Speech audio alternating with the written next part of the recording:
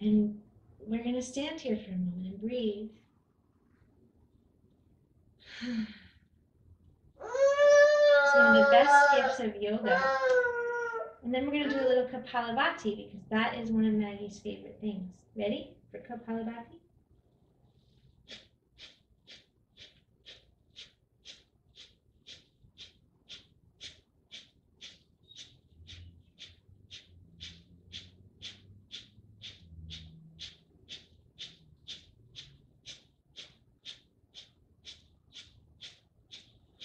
You didn't do with me. Well, the guy outside doing his lawn or yard work is too interesting, huh? Sometimes she does Kapalabhati with me. And I'm going to bend the knees, keeping my heels on the ground and hugging my knees together. So I'm really lengthening the calf muscles and I'm really strengthening the inner thighs. And the base of the spine, the, the mula bandha, the perineum, is hugging up and in to keep Maggie and me supported. It's like yoga with weights. And if I feel solid, I'll lift my arms. You can lift your arms too. Arms up. Can you do it? You're just so interested in the yard work and man outside. Our neighbor's doing some yard work. And you're breathing. You'll, you'll recognize right away that it's harder than regular Utkatasana chair pose to do it with your baby girl or boy. Keep breathing. And then rise up, straighten the legs, lift the back of the heart to the front of the heart lifts. And we do back bends together. Good job. Oh, if you could see her smile, it's the cutest thing. You back bended? And then exhale and come back to neutral. Mm. And you always check in with your little one, make sure they're good and in. And then maybe you hold the sacrum and the head of your baby and you lean forward. When I do this, I'm hugging my belly in a lot and I'm internally rotating my thigh bones. And I'm stretching my hamstrings and giving my little girl a little ride. you want to do it again? Woohoo! It's fun, huh? Awesome. Then we're gonna bend. Whoops! We're gonna bend the knees again while she back bends. Now that's even trickier. And we're gonna rise up, and I'm gonna put my hands on my hips and step one foot back. It doesn't matter which foot back. You just got to make sure you do the other one the next time.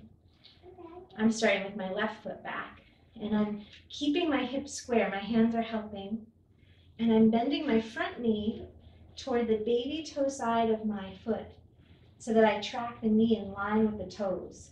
If the knee goes in a different direction than your toes, your knee is in trouble. It doesn't like that. and in this lunge, my back heel is down. I'm doing it with the back heel down. And I'm trying to hug the floor with my back toes so that my arch lifts. And that kind of waken, awakens my back leg so that my front leg isn't doing all the work, even though the baby is over the front leg.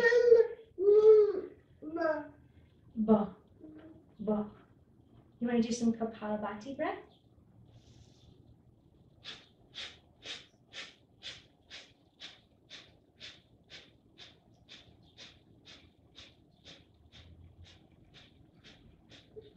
So my little girl loves Kapalabhati breath so much that it helps focus us if she gets distracted. So my foot pattern is warrior one. And when I felt stable, when Maggie felt like she was focused enough that I could lift my arms, I did. Warrior one position. And then I'm going to bring my hands back to my hips. I'm going to internally rotate my back thigh so that my heel comes off the ground. I'm going to step forward. It's a little different with a baby. Then I'm going to bend my knees again. I'm going to send my right leg back, which is my second side. It's really okay if you did the other leg order. and I'm grounding the back foot's heel, even though I'm keeping my hips square to the front of my mat. And I'm trying to bend the front knee toward the baby toe side of the foot. And I'm trying to lift the back foot's arch to wake up the back leg. And if I feel stable here, You need some milk? Yeah, you want some milk? We can do that. Because we have this nice wrap on. We can have anything we want right here. So I'm still in my warrior one stance. I'm lifting the base of my spine in the Bandha. And when I feel stable, I lift my arms and I, I'm taking prayer and clasping, kind of doing steeple fingers and clasping the fingers except for my index fingers. And looking up. This pose is called Warrior One because there's one pointedness in the limbs.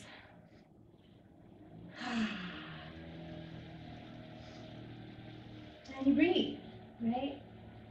And then you exhale out. And you pick up the back heel, you internally rotate the back thigh, you step forward. And you feel Tadasana again, that first standing pose, to make sure you've still got your weight balanced equally on the feet. It's important to go a little slower when you're balancing your baby's weight, not just your own. Just like when you were pregnant, it's it's very similar to do yoga with your baby in a wrap as it is to do yoga when you're pregnant. You have to compensate for the different center of gravity in your body or bodies. So I'm going to bend the knees again. Utkatasana is so grounding that it's kind of a good stabilizer. You might find you can go a little deeper when you feel a little warmer. She's happy because she's still nursing. And when you rise up, you lift the heart. And then as I exhale, I'm going to clasp my baby's sacrum and head and fold forward, even while she's nursing. Good. Good. And then you can even hear the yard work, right? And then I'm going to pause in the middle again. And I'm going to send my left foot back again. This time I'm going to externally rotate my hips. So I started with my hips facing the front of the mat. Now they're facing the long side edge of my mat.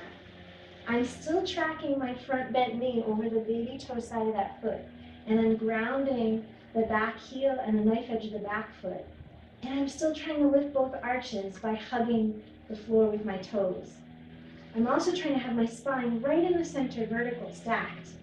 And just like we did in the other poses, we're hugging the feet toward the midline, toward the belly button, so that our mula bandha, our perineum, lifts. That's what's going to give us stability here, even while we're holding our baby. And then we lengthen the arms once we feel stable in the base. And we look out over the front fingers. And warrior two. Two because there's two limbs pointing out, right? That's why it's warrior two. It's not because it's harder. I think actually warrior one might be harder in my body. And she's happy because she's still nursing. Good. And then I'll inhale and I'll lengthen my leg. And I'm going to send my right hip back as I lengthen my right arm forward. We're tilting sideways. Can we handle it? I might have to hold on to my baby here, depending on your baby's weight. I'm doing a modified triangle pose with the strength of my legs and hips. Then I'm going to bend that knee. I did that mostly as a counter pose to warrior two to kind of help the front leg straighten and feel, I don't know, integrated after bending for a while with Maggie's weight on me. So now I'm back in the middle. I take Tadasana.